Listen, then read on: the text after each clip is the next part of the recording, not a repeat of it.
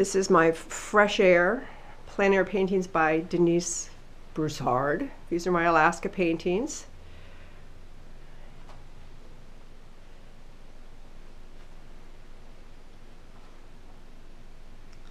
Then we turn the corner and it rolls into some of the Louisiana paintings. They asked me to include my hurricane blessing crosses, which that's kind of cool. Then we move over to the back part of the little gallery. I'm introducing, I have a preview, kind of a peek at my Pink Peggy abstract series.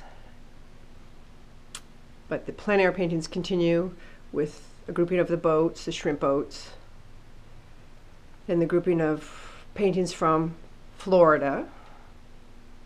Then on the back wall, opposite the Alaska paintings, are the collection of churches that I've done.